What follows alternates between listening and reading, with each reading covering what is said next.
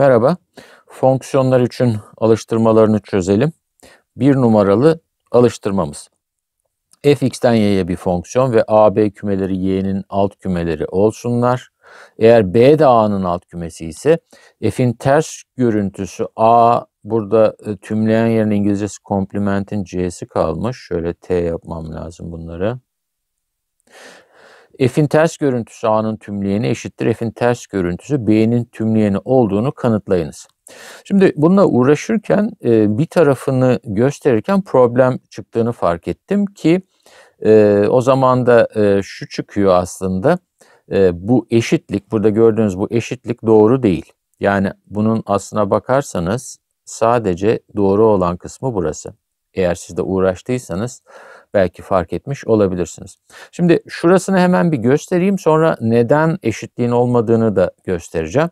Şimdi diyelim ki buradan bir tane işte klasik x aldık. E, f ters a'nın tümleyeninde. Sonra ne olacak? Direkt tanımı kullanırsak fx bizim a'nın tümleyeninde olacak. Ve buradan işte şimdi e, şeyi hatırlarsanız bu eğer B A'nın alt kümesi ise o zaman ne diyorduk? A'nın tümleyeni de B'nin tümleyeninin alt kümesidir. Bunu kanıtlamıştık kümelerde. O zaman madem ki A'nın tümleyeni B'nin tümleyeninin içinde o zaman bu fx e, elemanıdır B'nin tümleyeni olacak.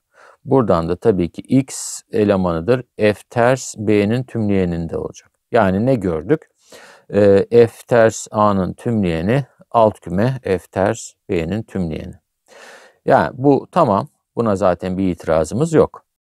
Ama şimdi bakın bunu başka renkle yapayım burada. Burada e, problemli kısım diyelim ki orijinal soruda eşitlik olarak gözüküyordu ya. Yani diyelim ki şunu e, göstermeye çalışıyorum.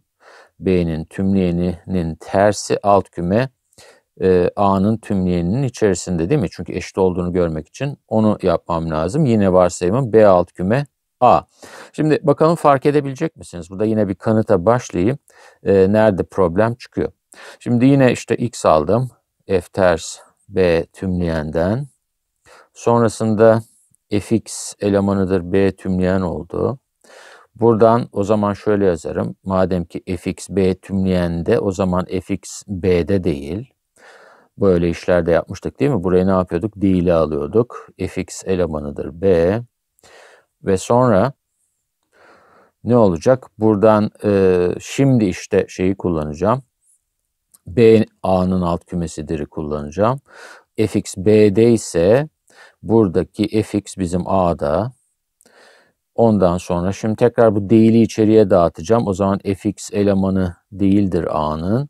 E, A'nın elemanı değilse fx bizim tabii ki A'nın tümleyenin elemanıdır. Gördüğünüz gibi e, buradan da x elemanıdır. F ters A tümleyene geldik. Yani aslında gösterdik. Fakat bir yerde hata var burada. Ciddi bir hata.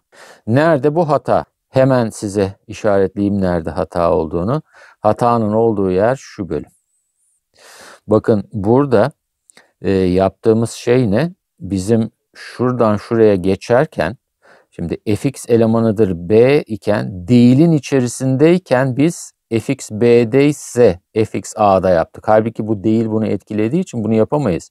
Normalde nedir bu? fx b'de değilse fx a'da değil ama fx b'de değilse fx a'da değili bu b alt küme a'yı kullanarak yapamayız. Yani burası şuradan şu geçiş bu geçiş buraya hatalı. Burada mantık hatası yapıyoruz farkında olmadan. Hemen size karşıt örneği göstereyim çok kolay. Hemen diyelim karşıt örnek. Ee, ne yapayım? İşte e, böyle hemen yine çok basit yapacağım. Şöyle e, f fonksiyonu var. Burası bizim x, burası y. Burada böyle bir tane e, a alayım. Burada bir tane b alayım böyle. Ondan sonra eleman olarak da sadece şurada bir tane A elemanını göstereceğim. Bakın daha başka bir şey göstermeyeceğim. Diyelim ki sadece böyle bir durum var burada. Ee, o zaman ne olacak şimdi? Ben A'nın tümleyeni dediğim zaman burada hiç bir şey görünmüyor ya bu boş küme olacak. O zaman e, F'in tersi A'nın tümleyeni dediğim şey yani boş kümenin tersi tabii ki boş küme olacak.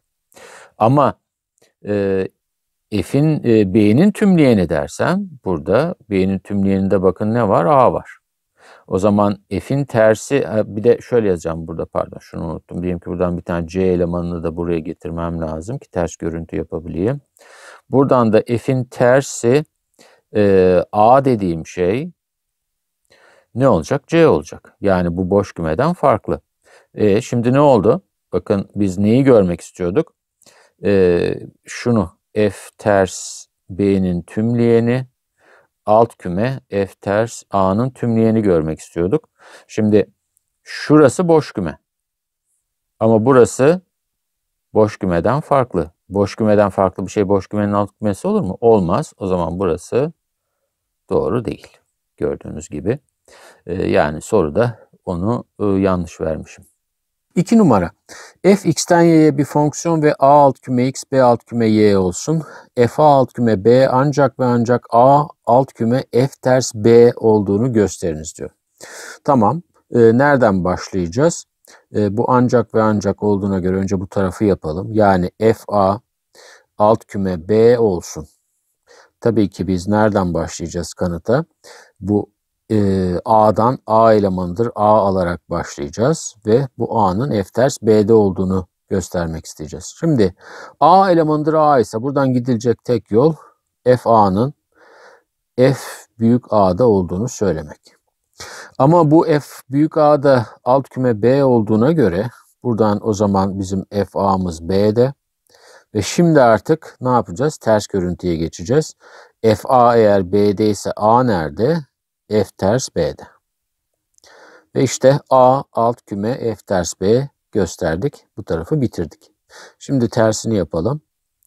Yani bu sefer A alt küme F ters B olsun.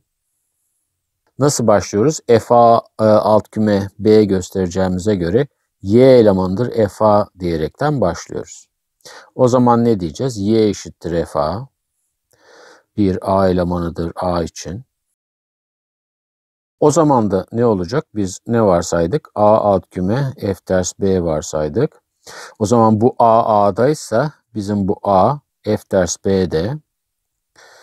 F ters B'de ise direkt olarak tanım gereği ne diyoruz? F A elemanıdır. B diyoruz. Ama biz bu F A'ya Y demiştik. Yani bu Y elemanıdır. B gösterdik. Zaten onu görmek istiyorduk değil mi? F A alt küme B'yi gösterirken. İşte bitirdik. Evet geldik 3 numaraya.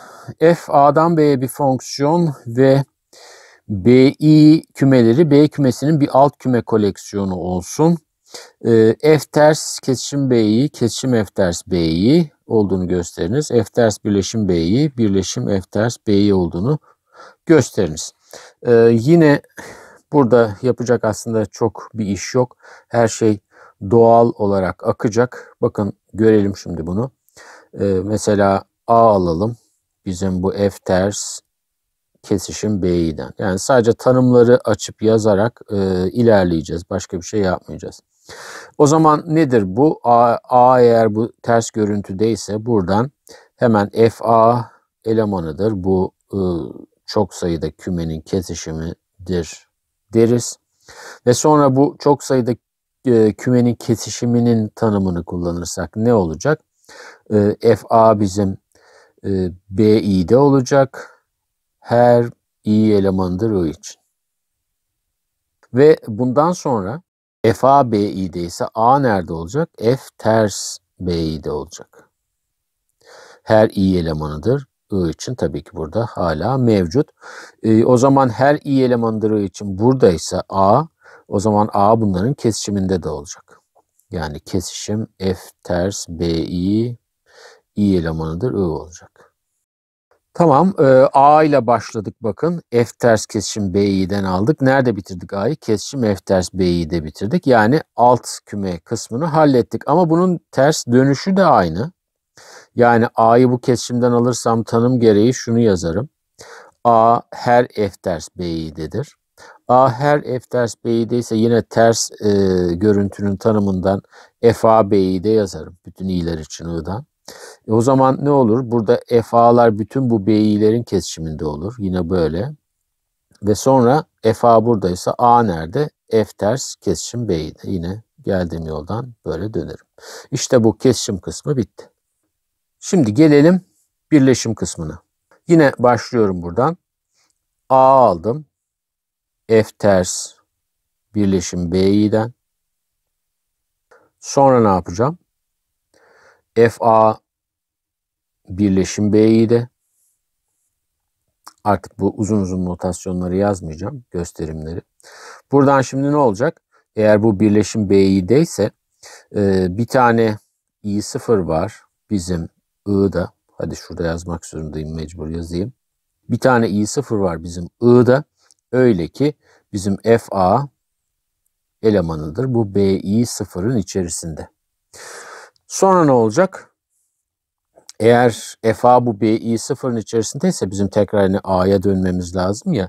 O zaman yine bir tane I sıfır var bu I'da. Öyle ki FA BI sıfırdadan nereye geçeceğiz? A elemanıdır. F ters BI sıfırda. O zaman ne oldu? Buradan yine toparlarsak bizim bu A nerede olacak? Birleşim F ters BI'ler e, I elemanıdır. I da olacak tabii ki. İşte burası da böyle halloldu. Şimdi bunun tersi de aynı yoldan. Aynen yukarıdaki gibi. A'yı buradan alırsak hemen e, burada direkt bu e, çok sayıda kümenin e, birleşimi tanımından bunu yazarız. Sonraki adımı. Oradan geriye döneriz. A F ters BI 0 yerine FA elemanıdır. B'yi 0 deriz. Oradan gene bu çok sayıda kümenin tanımıyla toplar e, bunları bir araya getirip toparlarız. Yani F A bizim birleşim B'yi de olur ve en son buradan tekrar A'ya döneriz. A F ters birleşim B'yi de olur. Yine kolayca e, hiç zorlanmadan sadece tanımları e, kullanarak yaparız. İyi günler.